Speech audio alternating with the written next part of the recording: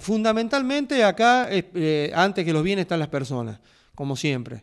Nosotros como miembro de Defensa Civil que estamos proponiendo desde hace un año que venimos con la problemática de Pozo Negro, si bien lo que pensábamos que iba a poder, poder ser no lo es tanto, debemos tener 22, 23 pozos derrumbados hasta, el día de la fecha, nosotros le decimos a la gente, le invitamos que venga a denunciar el pozo derrumbado en la vía pública, ni a hablar en la, en la vereda, pero aún le pasa en la casa para nosotros generar registro para ver si tenemos localizado algún sector, es importante. Nosotros le pedimos a la gente que denuncie en la vía pública sí o sí, tiene, es obligación, y si en el patio nos brinda, nos sirve como dato. Digamos, eso para nosotros es importante. Las precauciones son las siguientes, estamos entrando días cortos, sobre todo nublados, los chicos que van a la escuela, la gente que va a trabajar, si no está seguro por la vereda que está circulando, que busque otra alternativa, que trate de no ir solo, que sean en grupo. este, estos consejos los hemos dado siempre, sobre todo en la escuela, ¿no? No es lo mismo ir solo y que pase algo que ir tres o cuatro, o dos. ¿eh? Siempre la colaboración, el aviso se puede dar. No es para asustar, pero son cosas que pueden pasar. La de emergencia hídrica que se determinó ya este jueves pasado en la reunión de defensa civil.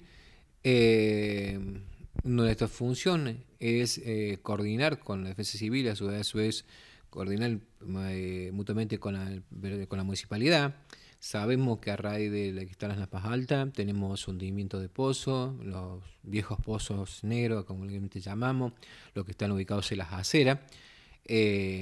por eso mismo, ya aprovechando esta, esta oportunidad, nosotros en un horario que cuando ya el personal municipal está fuera de su servicio, en horario nocturno, y es contactado por particulares, a veces la demoración de Amigo Pozo, porque ahí vamos caminando y lo encontramos con esa sorpresa, es decir, donde se llama es el 101, eh, nos llama al 101, eh, el personal va a ir, va a remarcar la zona y va a poner en conocimiento, en este caso el personal municipal, para que vaya chequeando y se va haciendo una estadística en referencia a lo que a la problemática de, la población. Pero en este primer momento llamarnos nosotros que vamos a hacer, vamos a poner la, cinta de peligro para que para prevenir un mal mayor.